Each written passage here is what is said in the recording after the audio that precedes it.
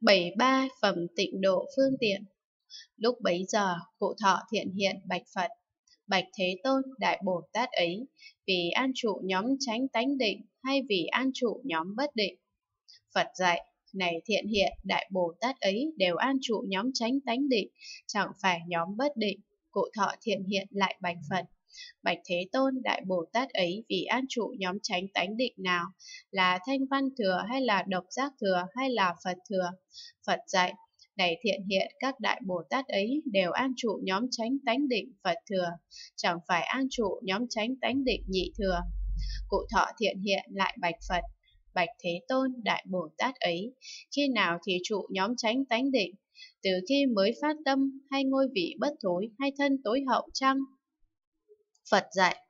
này thiện hiện các đại Bồ Tát ấy hoặc từ khi mới phát tâm, hoặc ở bậc bất thối, hoặc thân tối hậu đều an trụ nhóm tránh tánh định.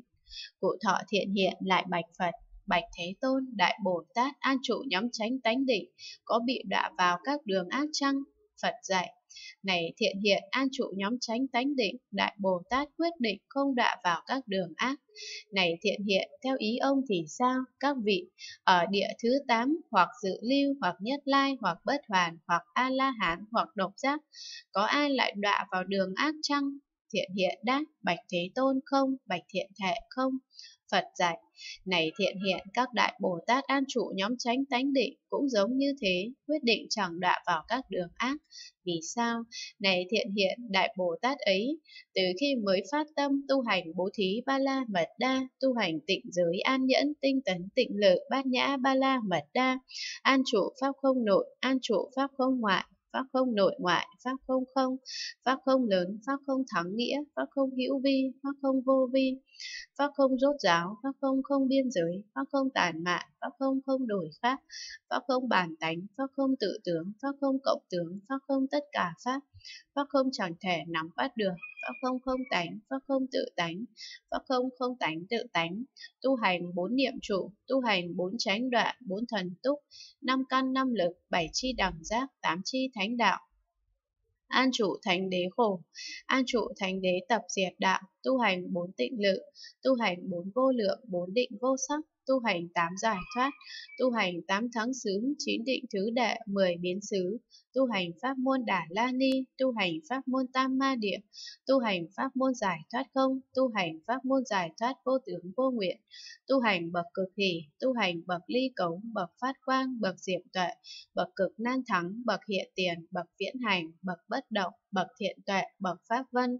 tu hành năm lại mắt, tu hành sáu phép thần thông, tu hành mười lực Phật, tu hành bốn điều không sợ, bốn sự hiểu biết thông suốt,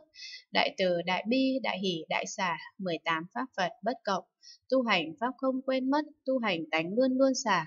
tu hành trí nhất thiết, tu hành trí đạo tướng, trí nhất thiết tướng, tu hành tất cả hạnh đại Bồ Tát, tu hành quả vị giác ngộ cao tột của chư Phật, chế phục đoạn trừ tất cả pháp ác bất thiện. Này thiện hiện do nhân duyên này mà Đại Bồ Tát ấy lại đọa đường ác thì đó là điều không có. Đại Bồ Tát ấy nếu sanh lên cõi trời trường thọ thì đó cũng là điều không có. Có nghĩa là ở những nơi ấy các thiện pháp thù thắng chẳng có hiện hành.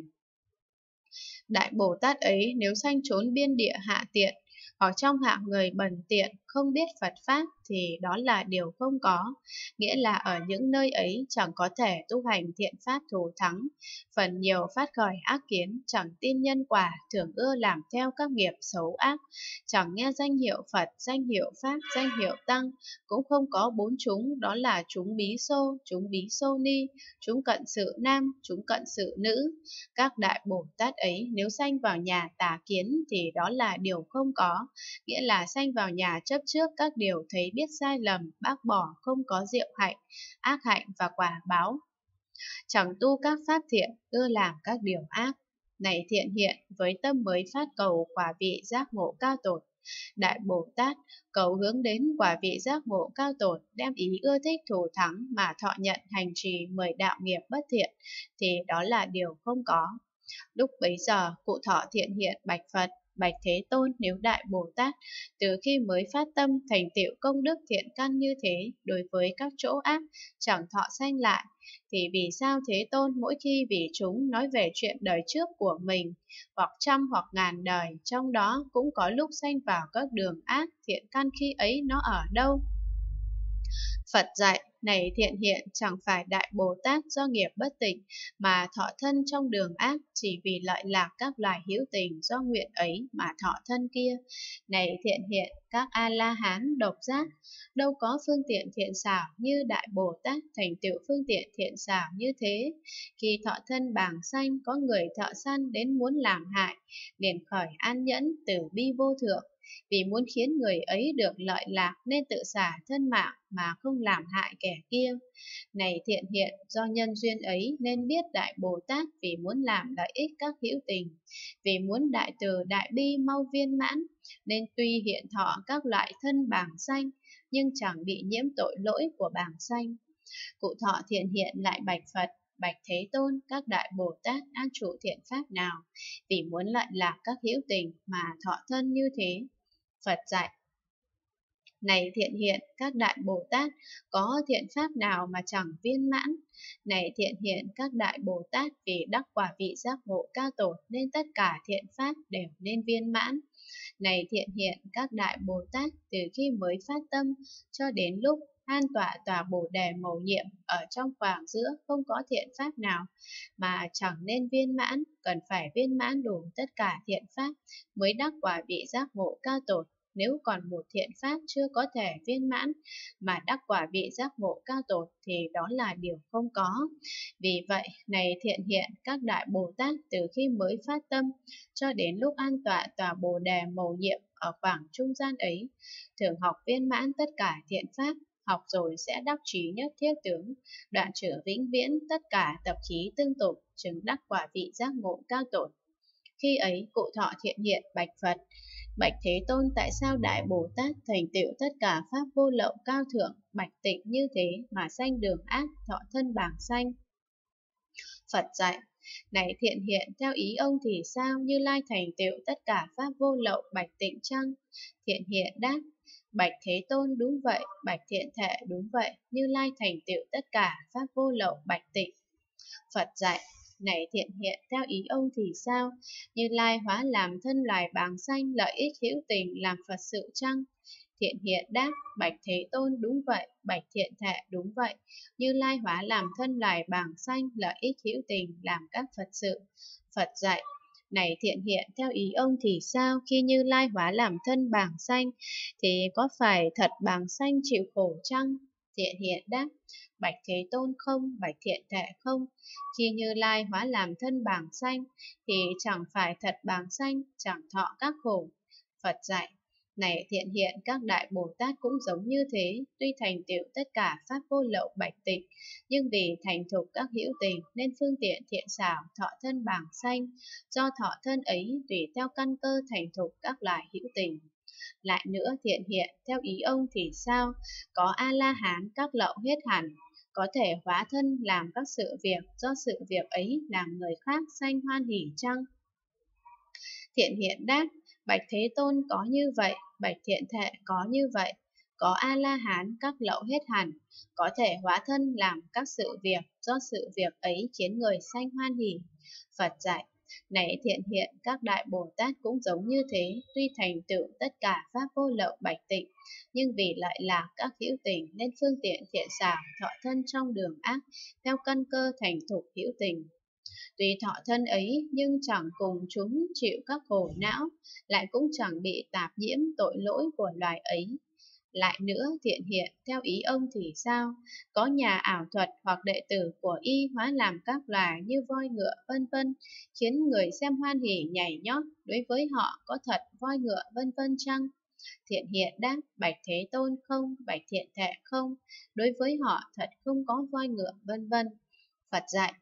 này thiện hiện, các đại Bồ Tát cũng giống như thế, tuy thành tựu tất cả pháp vô lậu bạch tịnh, nhưng vì lợi ích các hữu tình nên hiện thọ thân các loài bảng xanh. Tuy thọ thân của chúng nhưng thật chẳng phải chúng, cũng chẳng bị nhiễm ô tội lỗi của chúng.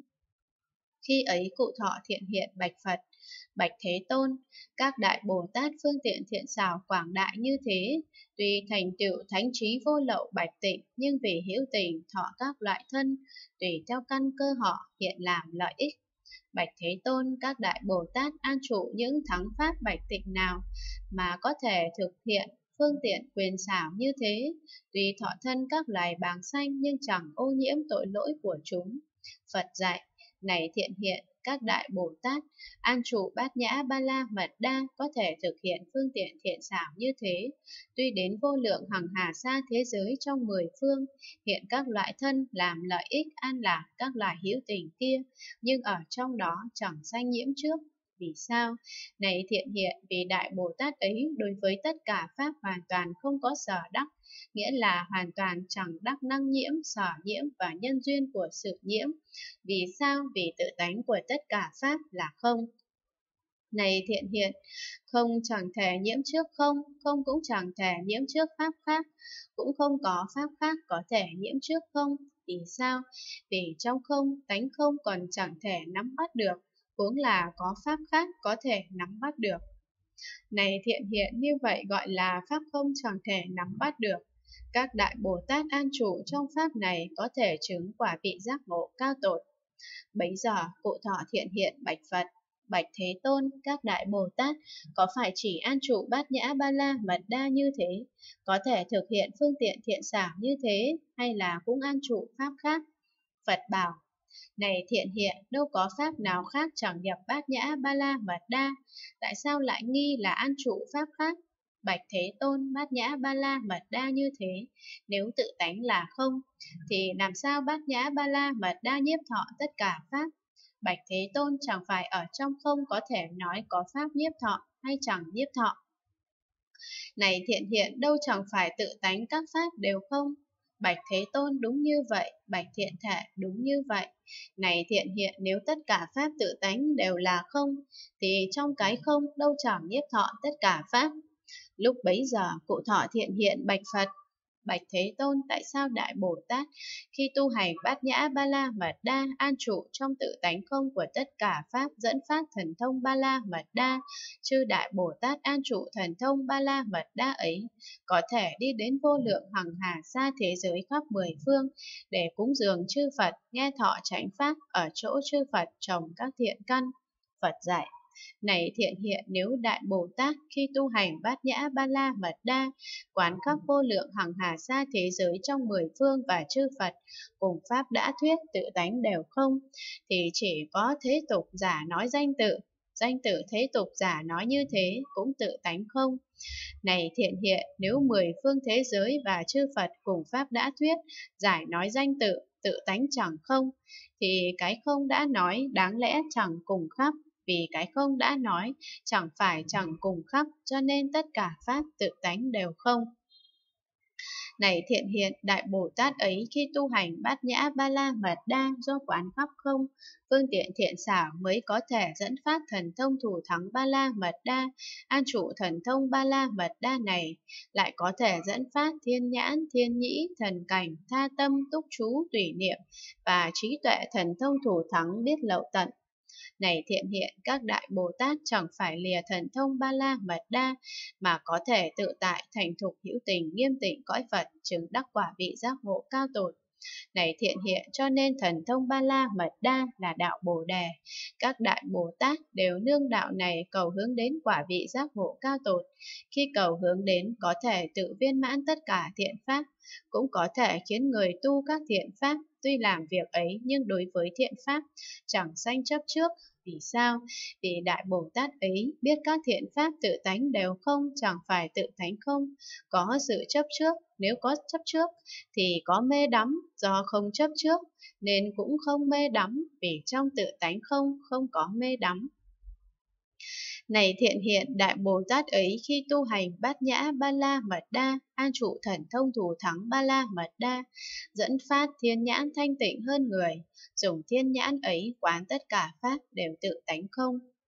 Này thiện hiện, Đại Bồ Tát ấy vì thấy tất cả Pháp tự tánh không, nên chẳng nương vào Pháp tướng mà tạo tác các nghiệp.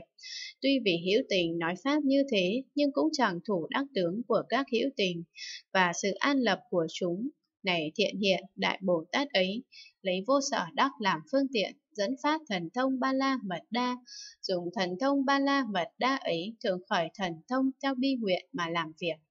Này thiện hiện, Đại Bồ Tát ấy dùng thiên nhãn cực kỳ thanh tịnh hơn người, có thể thấy vô lượng hằng hà xa thế giới khắp mười phương, thấy rồi dẫn phát thần cảnh trí thông đi đến các nơi ấy làm lợi ích các loài hữu tình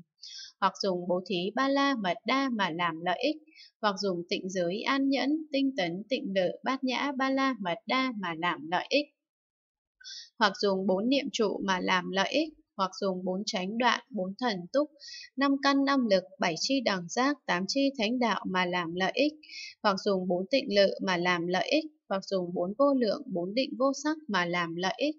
hoặc dùng tám giải thoát mà làm lợi ích, hoặc dùng tám tháng xứ, chín định thứ đệ, mười biến xứ mà làm lợi ích, hoặc dùng pháp thanh văn mà làm lợi ích, hoặc dùng pháp độc giác mà làm lợi ích, hoặc dùng pháp Bồ Tát mà làm lợi ích, hoặc dùng pháp chư Phật mà làm lợi ích. Này thiện hiện đại Bồ Tát ấy, nếu thấy hữu tình ở mười phương thế giới nhiều san tham, thì vô cùng thương xót, Nói pháp thế này, hữu tình các ngươi nên hành bố thí. Những ai san tham thì chịu bần cùng khổ sở, do bần cùng nên không có oai đức, tự lợi còn chẳng được, huống là có thể lợi người.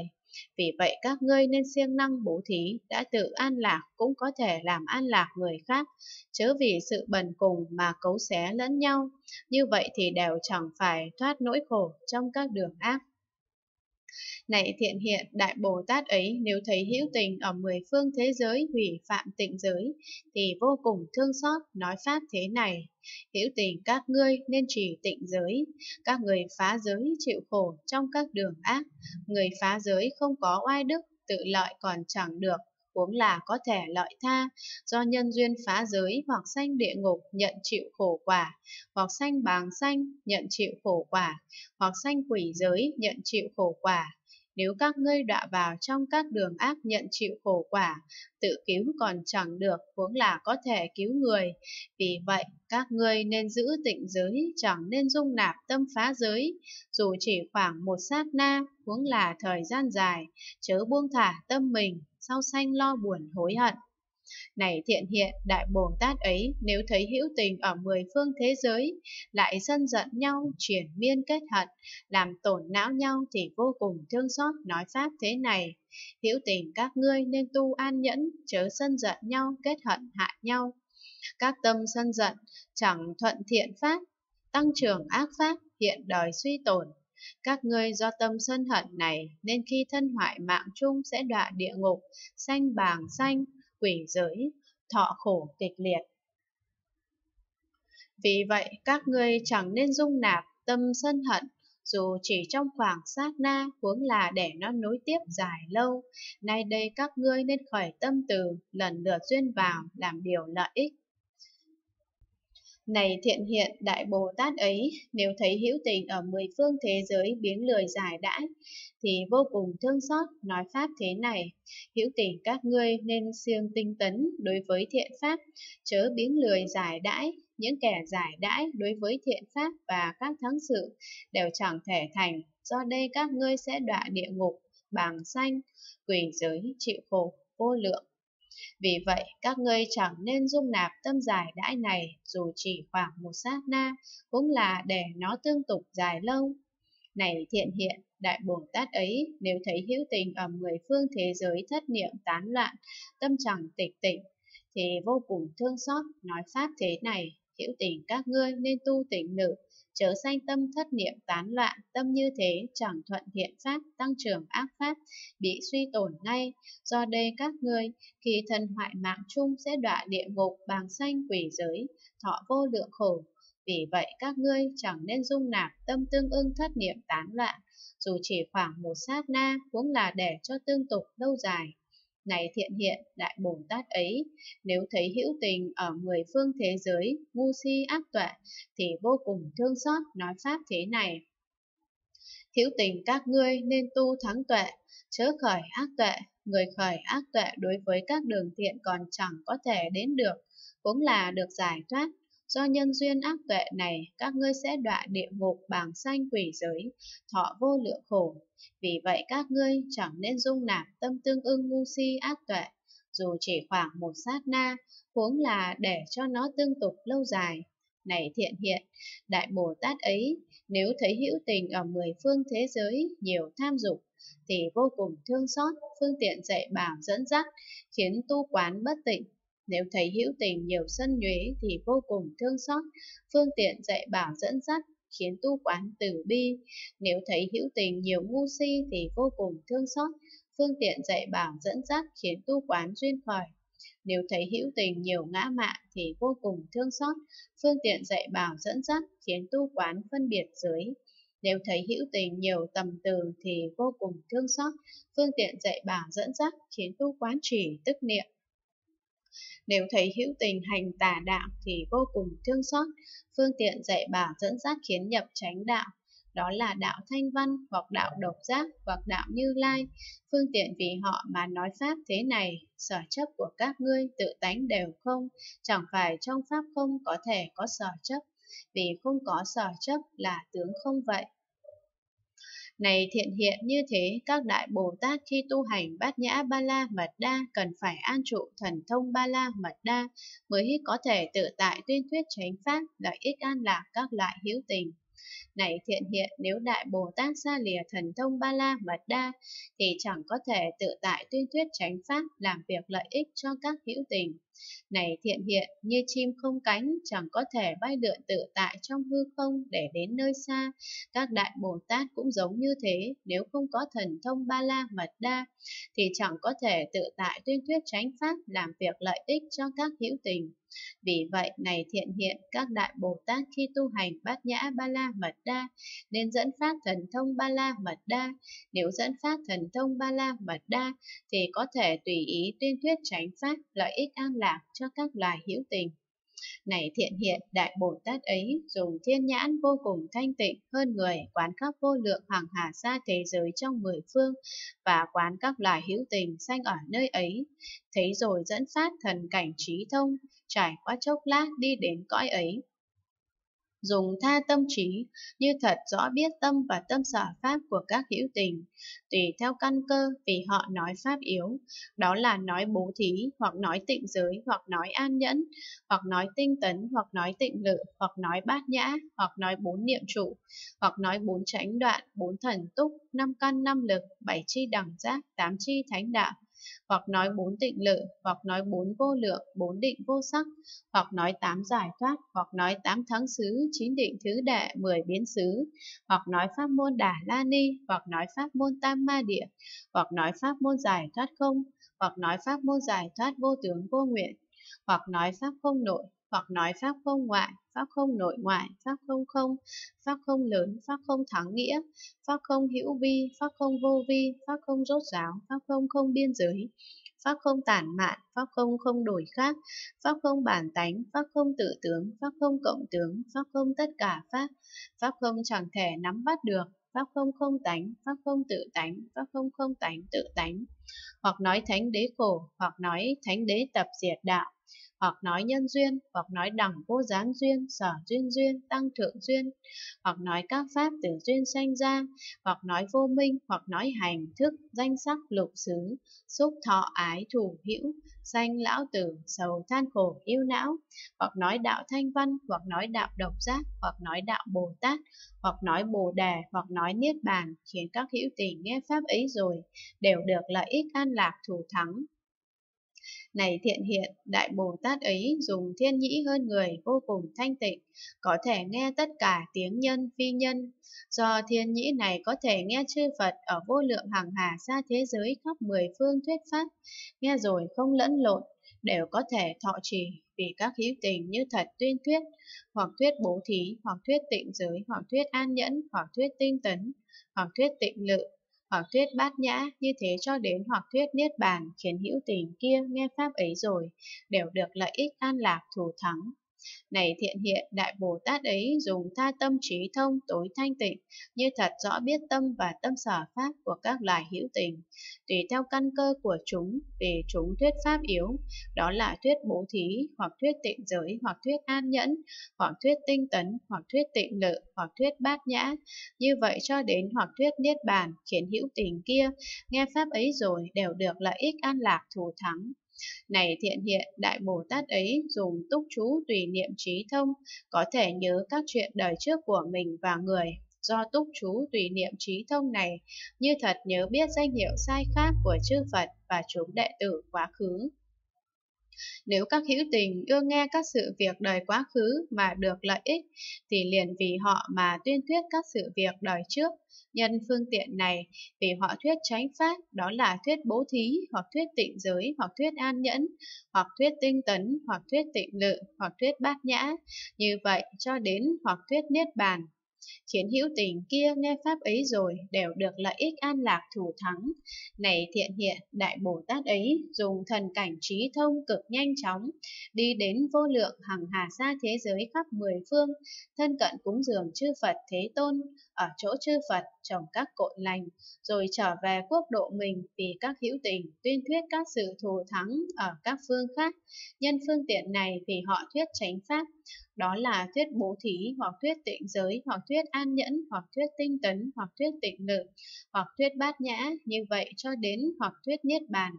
Khiến hữu tình kia nghe pháp ấy rồi đều được lợi ích an lạc thù thắng. Này thiện hiện, Đại Bồ Tát ấy dùng lậu tận trí thông tùy sở đắc, như thật rõ biết các loài hữu tình lậu hết hay chưa hết, cũng như thật biết phương tiện lậu hết vì người chưa hết. tuyến thuyết pháp yếu, đó là thuyết bố thí, hoặc thuyết tịnh giới, hoặc thuyết an nhẫn, hoặc thuyết tinh tấn, hoặc thuyết tịnh lự, hoặc thuyết bát nhã, như vậy cho đến hoặc thuyết niết bàn, khiến hữu tình kia nghe pháp ấy rồi đều được lợi ích an lạc thủ thắng. Này thiện hiện như vậy, các đại Bồ Tát khi tu hành bát nhã ba la mật đa, nên dẫn phát thần thông ba la mật đa. Đại Bồ Tát ấy tu tập thần thông ba la mật đa được viên mãn, nên tùy theo ý thích thọ các loại thân, nhưng chẳng bị tội lỗi khổ vui làm ô nhiễm.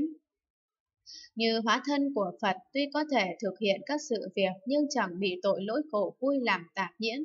Này thiện hiện, các đại Bồ Tát, khi tu hành bát nhã ba la mật đa nên du hí thần thông ba la mật đa. Nếu du hí thần thông ba la mật đa thì có thể thành thục hữu tình nghiêm tịnh cõi Phật, mong chứng quả vị giác ngộ cao tột này thiện hiện nếu Đại Bồ Tát chẳng thành thục hữu tình nghiêm tịnh cõi Phật, thì chẳng bao giờ đắc sở cầu là quả vị giác ngộ cao tột. Vì sao? Này thiện hiện vì tư lương bồ đề của các đại Bồ Tát, nếu chưa đủ thì nhất định chẳng có thể đắc sở cầu là quả vị giác ngộ cao tột. Hết quyển thứ 394